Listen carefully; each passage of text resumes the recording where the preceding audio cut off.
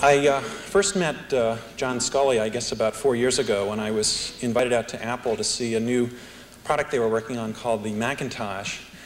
And I guess, like a lot of people, I was wondering what this uh, uh former president of Pepsi Cola could uh, bring to the uh, personal computer industry.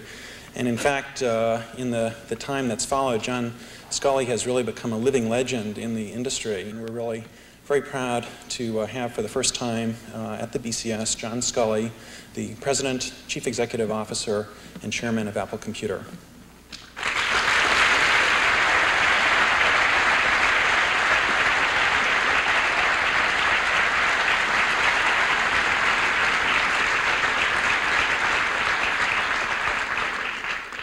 Well, thank you very much. I was sitting down here in the audience next to uh, a gentleman who had a good-looking blue suit and white shirt and uh, red tie. And he looked over at me and he said, gosh, if I knew this was an informal affair, I wouldn't have dressed up.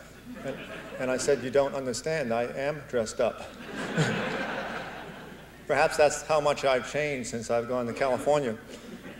It really is more than 3,000 miles from East Coast corporate America to uh, high-tech Silicon Valley. And what I'd like to do this evening is to share with you some of those experiences. In fact, uh, I've just finished writing a book, and the book is called Odyssey, Pepsi to, to Apple. Uh, many times when a CEO writes a book, it's kind of looking back on their life and trying to put things together in some neat monument that uh, will not be flawed in any way because they obviously didn't make any mistakes during their career and tells you what they have accomplished. And when I came out with the book, um, while I'm still at Apple and still uh, hopefully uh, somewhere in the, in the middle of, of my career, uh, people said, well, why did you want to write a book? Now, why didn't you wait like everybody else? Don't you understand that's what you're supposed to do? You're not supposed to talk about these kinds of things. Well, what they didn't understand was that uh, I wasn't trying to write a book about the history of Apple or the history of Pepsi uh, or my own uh, autobiography. Rather, what I was trying to do was to use these as reference points that have shaped my experience uh, just as the world has gone through a transition from the industrial age to the information society over the past 10 years. Half of that time I spent as CEO of a second wave, very successful industrial age company, Pepsi-Cola company, and the other half of that time I've spent uh, here at Apple Computer. And I think that uh, just the mere fact of being able to look at the world through two different lenses has given me the chance to at least compare and contrast the differences between those two different uh, economic concepts of the industrial age and the information society. And what I was trying to do was not to talk about what has happened, but rather to set the stage for the things that I think are possible as we move into the last years of the 20th century.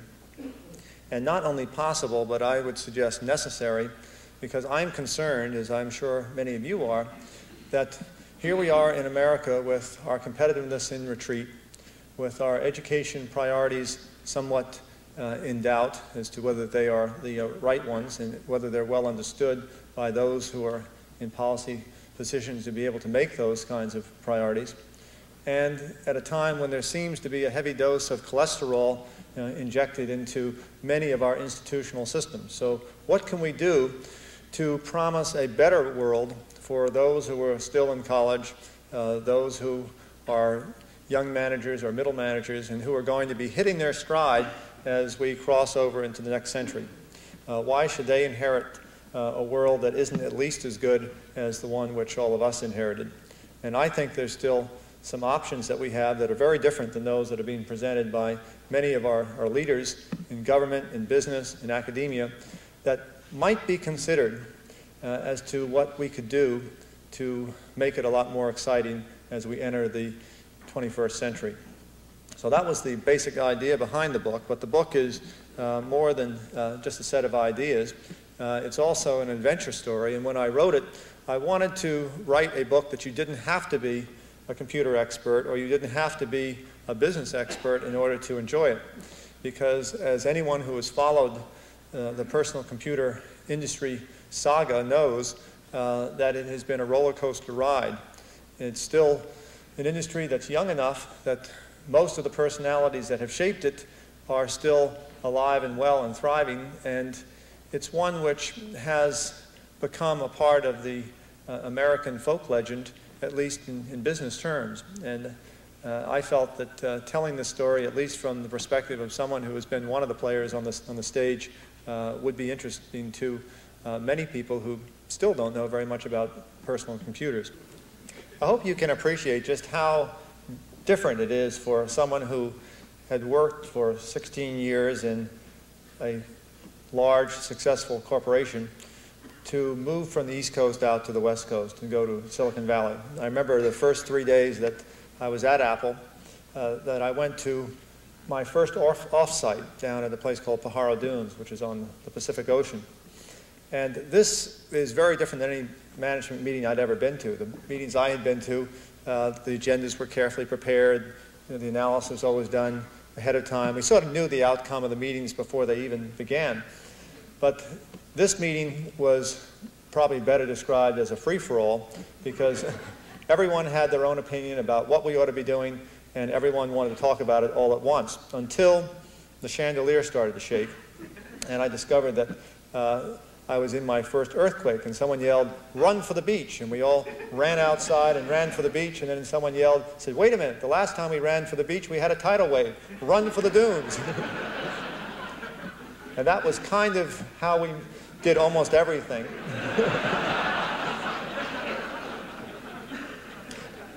and I wasn't the only one who had trouble understanding what uh, Silicon Valley was, was like, and Apple in particular. I remember uh, one time uh, AT&T came out to visit Apple. They were visiting everybody in those days. And they showed up uh, in a way that they thought would make us feel comfortable. So they all came out in casual clothes. And of course, we wanted to make them feel comfortable, so we showed up in suits and ties. it's a weird meeting.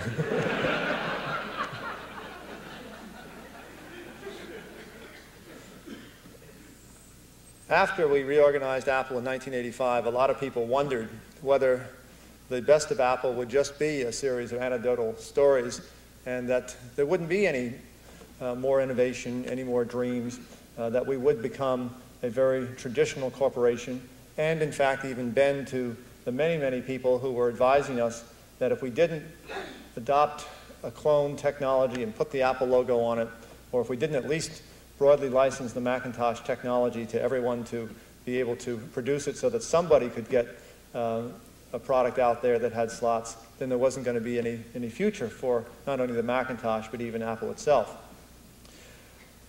We chose not to do that. We decided that uh, the best decision, the least risk decision, was not to take the safest course. That we had to tighten down our uh, internal controls. We had to run the company with uh, greater focus and greater order and discipline, but we didn't have to abandon the, the dream. And to the contrary, uh, we had to learn from the mistakes that we had made, that I had made, um, and begin to invest in the technology even more, not abandon the technology. And that's exactly what we did over the last two years. And as many of you know, we increased our research and developments from uh, something around $40 million per year up to uh, this year we'll spend, I guess we just did spend about $190 million uh, in the past year on research and development and introduced over 50 products this year alone. The success in this industry will always be based upon innovation. Uh, yes, you have to have standards, uh, but you also have to have innovative technologies that will add value and will give a reason to be able to do the kinds of things that so many of us believe in, and that is to take personal computing well beyond where it is today. One of those people who really cares a lot about where personal computing will go is Bill Atkinson. And Bill, as many of you know, is the fellow who not only did QuickDraw and did MacPaint, uh, but also has done the remarkable work on HyperCard. HyperCard was perhaps the only technology that somehow forgot, got forgotten. Uh, almost every other technology that is in the Macintosh today has its origins in some way back in the 1960s or early 70s, long before Apple was even founded as a company. But the one that got forgotten was hypertext. And as we looked out to the future, to what was going to be the kind of computer that we would all personally want to have at the turn of the century, it was becoming more and more obvious that we had to have the capabilities of hypertext. We had to have the ability of organizing information by association, to be able to make the computer more intuitive, to be able to address very, very large databases, and to be able to access information at a time when information would be uh, far larger in quantity than anything we're experiencing today. In fact, uh, it's estimated that information in quantity doubles uh, every three to four years. So we would either be overwhelmed by information by the turn of the century, or we would learn to cope with it. And hypertext was a key technology platform that we had to have in place. So about two years ago, uh, Bill Atkinson, who had been working on some ideas with hypertext, uh, decided that he could build a product. And this is a product which eventually was introduced at Macworld here in Boston in August. And it's one which has probably had uh, more excitement around it, uh, perhaps even more importance than anything that we've done since the Macintosh itself. And in fact, there are even some who think it may be uh, at least as significant, if not more significant in ways than the Macintosh in terms of what it can mean for us long, long term. But Bill was one of those very unusual people I discovered in Silicon Valley. There are dreamers and there are implementers. Uh, Bill is the kind of guy who can sit out and watch the stars at nighttime and project his mind uh, out cosmically to uh, 200 years from now, thinking about what future species may have descended from us or even from the computers that we build, uh, more or less from us, and then at the same time be able to take those kinds of ideas, turn them into incredibly innovative products, and build shippable code and actually go out and market the products themselves. Uh, it's rare, if not uh, almost impossible, to find anybody who can do both the cosmic conceptualization all the way through to uh, shipping industrial strength code. And that's exactly what Bill Atkinson did with, with HyperCard. After Steve Jobs left Apple, uh, I was looking around to see whether the vision of the company was correct, to see uh, who I could get guidance from from a technical standpoint. And Bill Atkinson was one of the people I turned to, as was Alan Kay. Uh, Alan, uh, I was to discover, uh, was someone who wasn't just the father of many of the ideas that we use today, like Smalltalk and, and uh, other uh, parts of the human interface that are uh, well known today with Macintosh, but he was someone who was even more interested in the kinds of computers that we would have out in the future. And the Dynabook, which Alan conceived a good number of years ago, was a product that still hadn't been built. Uh, it still held concepts uh, which were yet to be realized. And as I learned more from Alan, and he became almost my uh, Buddha master, uh, I discovered that not only was the vision that Steve Jobs had uh, the correct one, that one person, one computer, uh, one person at a time was the way to change the world, but that in fact we had only begun the journey. That this wasn't the end of a fad, uh, it wasn't the phenomenon of the 1980s. Perhaps a better analogy would be to uh, project ourselves backwards to 1915 and think about the automobile industry. And imagine a conversation that would go something like, uh, now that the automobile has been discovered, uh, what shall we do after the automobile?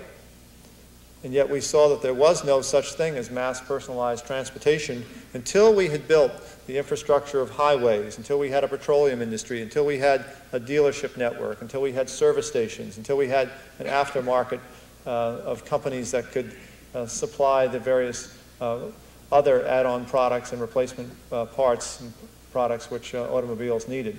And we had to make the technology invisible. We had to go from the era of the machine enthusiast in the automobile industry to making the technology invisible with automatic transmission, with power brakes. And that's exactly what's happening today with personal computers. You know, we are at the point where we have machine enthusiasts who love the technology, really care about what personal computing means for them, but we haven't yet seen mass personalized knowledge systems the analog to the mass personalized transportation that took some 70 years in the automotive industry. And that is going to require an infrastructure of telecommunications. It's going to require databases to be established that can be easily accessed regardless of their operating environments. And it's not unreasonable to expect that by the turn of this century, only some 12 years from now, that almost anything of interest in the world, whether it be in graphics, text, or sound, is going to be digitized. And in theory, it could be available and accessible, assuming that we had the proper devices to connect to it and we had the password clearances in order to, to uh, do that. So why aren't we demanding that our public education system begins to focus on developing in our young people the kinds of skills that they will need in the early 21st century in order to be successful in the world ahead and be able to maintain the innovation and creativity that we will need in order to be successfully able to add value and to keep our affluent middle class society and the world's marketplace alive and thriving. And I think that means uh, some fundamental reforms in public education. And the personal computer has the chance of being more than a tool for computer literacy, more than a tool that is used in computer labs, but can become integrated in a very important way into the fabric of our learning process. And it means building the self-esteem of our teachers. It means putting a national priority on education that seems far amiss, regardless of which administration happens to be in power. It's a curious thing to me that when we look at our large institutions that are using information technology, that during the 1980s, the cost of technology has gone down dramatically on a price performance basis, and yet the performance has gone up significantly and nobody can measure real productivity gains. The old concept of taking large mainframe computers and taking the workflow and systematizing that so that work can be done faster gave us measurable productivity for about 15 or 20 years. But more recently, doing things faster isn't enough to get measurable productivity gains. We've got to learn how to do things better. Again, I believe the solutions are going to be found by focusing on the individuals inside those institutions, whether they're corporations or schools or government. Focus on the individuals, give them enabling tools that they can work with, and help change their behavior in terms of how they think and how they work and how they communicate and how they learn. And that is really the tremendous opportunity all of us have to be part of changing the world by using personal computers to have an impact on society that goes far beyond anything that has happened so far. As we look at the technology at the 21st century, uh, I envision a product which uh, I call the Knowledge Navigator. A navigator because we're going to want to be able to navigate our way through knowledge that will allow us to bridge areas of specialization the over-specialization that we've had in our society today has restricted creativity. We've got to be able to bridge the sciences with the humanities. And think back to the precedent of the Renaissance in the 15th century, when we had a wonderful invention in the year 1360 with the printing press, a tool that enabled individuals to be able to access knowledge, to democratize the book, the printed page. In 1360, only one out of 100 people was estimated to be able to read. 140 years later, in the year 1500, it's estimated that 80 out of 100 people could read, and that books were no longer printed in Latin, but they were printed in the tongues of whatever was the spoken language at that time. It's hard to imagine whether we even have more than 80% literacy today in a highly industrialized country like the United States. That mere fact of democratizing knowledge started the Renaissance because it let people rediscover the golden age of Greece. It let them see a world through a series of perspectives that bridged the humanities and the arts and the mathematics and the philosophies and opened up a bandwidth of, of knowledge that was unknown during the Dark Ages as we go into the 21st century, we are going to have to open up our own bandwidths and to move out of the dark ages of over-institutionalization and over-specialization, and we want at least an equivalent tool to the printing press. What is exciting to me is to see that when you go to the universities today, that you realize that it takes about 10 to 15 years for technology to incubate from the time that it's first discovered and invented until it appears in commercial products. That's about the time it's taken for many of the technologies that we had in the Apple II and in the Macintosh uh, to incubate and come out into commercial products that all of us are using today. Well, if that's true, it means that the technologies that are in the universities right now, the technologies that are in the laboratories, whether it's Apple Computer or other companies, that those are the technologies that we're probably going to see in products around the turn of the century, just 12 years from now.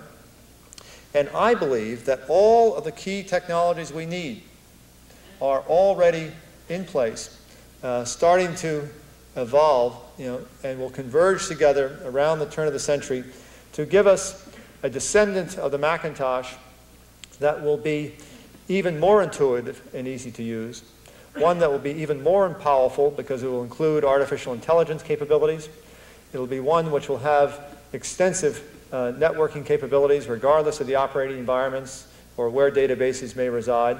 Uh, probably very sophisticated object-oriented distributed database technologies, an extension of the object-oriented uh, concepts that we're using today in our, our personal computers and that we will have merged together the series of different uh, things like uh, video imaging uh, with text and sound windows, graphics uh, generated through simulation on a computer, so that we will have a true multimedia environment, an environment for learning tools, an environment for communication tools, an environment for work tools. And I believe that the multimedia environment will open up some extraordinary possibilities. To return to the earlier theme of, of education, we're not competing with our personal computers today against books. We're competing against special effects in films. We're competing against MTV. We're competing against video arcade games for share of mind with our young people because those are the real alternatives. So why can't we begin to take the idea that work can be fun. An idea that seemed contrarian to me and totally unconventional when I moved from the East Coast corporate America world that I had grown up to to Silicon Valley. And yet today is one that makes so much sense to me because if you're having fun, you're probably doing something that's interesting to you. And if you're doing something that's interesting, you're probably going to have a better chance of coming up with doing things in a better way and being more productive than if you're doing something that's boring? And why shouldn't the same thing be true in learning as it is in work? Why shouldn't we make the process of learning as entertaining as it is to go to a film or go uh, play with a video arcade game? And I think that's totally going to be within our grasp with uh, the knowledge navigator concept of, of, personal computing around the turn of the, of the century. What it validates for me is the vision that focusing on the individual, enabling the individual with tools, is going to be just as valid in the 21st century as it was back in 1977 when Apple was founded. It's not that this was a nifty idea for the 80s that somehow will exhaust itself, but it's that we are at the beginning of something which has only begun to touch people's lives, not just in the United States, but right across the world. And that is the kind of vision which excites us at Apple because we came to Apple to change the world. We came to Apple to personally make a difference. And we came to Apple to learn and grow. Those are the only three promises we make an employee when they join our company. We don't promise lifetime uh, uh, tenure. We don't promise pensions. Uh, we don't promise it'll be easy. What we do promise is that you will have an absolutely extraordinarily incredible experience and that you will be part of an adventure. And when I say come to Apple, I don't mean just to sign up and have a badge and walk into our offices in Cupertino or any of our offices in other parts of the world. I mean in the greater Apple family because what makes the third wave, the first wave was agrarian, the second industrial, the third wave is information society. What makes the third wave really different is that we no longer have corporations trying to be completely self-sufficient on their own. We no longer measure success by how large and independent a company is. We measure success by how innovative, how flexible, how high the quality standards are, and how well it is networked into interdependencies with other independent organizations. In our case, we have tremendous interdependencies. We have interdependencies with dealers, with software developers, with vendors of our piece parts and components, and perhaps most importantly, as we discovered in 1985, when many thought Apple was on the brink of extinction, you didn't. You, know, you the enthusiast, understood that while we may not have been doing everything right in running our company, that the dream was essentially correct, and the technologies were sound, and the products, with some modifications and more openness, you know, could meet the needs of the marketplace. And you stuck with us. And that was probably as important in assuring that Apple made it through those tough times as anything else that I can think of. It's that network of relationships that makes the third wave companies so different from the second wave giants that we've seen in industrial America in the past. Well, I've talked a lot about some of the, the impressions that I've had in coming to Apple. You've seen a little bit of uh, what we still do today, and yes, we still have fun. Uh, there still is no dress code at Apple, and there still are beer busts on Friday afternoons, and we still celebrate milestones. And yes, we are a larger, more complex business. Uh, we're different in many ways as well. We sell into business uh, with much greater emphasis than we did a, few years ago, and today we're doing it with some success. But we're still a company driven by a dream. And even as IBM starts to look more like Apple with user interface and three and a half inch diskettes. And Apple seems to look more like IBM as we you know, put on our suits and ties and go into corporate America through the front door. And we actually get in a few these days. We're not turning into Ford and Chevy. The visions of the two companies are as different and distinct now as they ever were. I believe that IBM is focused on a vision of institutional productivity, customer control, and trying to build upon the very strong reputation it has as an outstanding service organization. It's one of the great companies in the world, without a question of a doubt. But the vision at Apple is a very different one. It's one that focuses on the individual. And it rests on one simple idea. And that idea is that the way to change the world is to give people tools to help them change their behavior to have the epicenter on the individual, not the epicenter on the mainframe. The personal computer isn't just a smaller version of the giant ones that came before it. The personal computer is the doorway into information technology for individuals, and therefore you've got to treat it with all the respect that it deserves. You can't compromise on the technology. You've got to make it as intuitive as possible without compromises. And these are the, the dreams that are as important to Apple as we go out into the 1990s as they were when we defined the Macintosh or we defined the Apple IIe or the Apple IIgs. Uh, these are the things that are at the roots of the value of Apple Computer, and they won't change, regardless of how much else changes in the industry ahead. Well, thank you very much for the chance to be able to visit with you and talk tonight. Uh, I'd be happy to answer a few questions if you have, and it's a great pleasure to cross the country and be 3,000 miles away from home and yet feel that I'm still amongst friends. Thank you very much.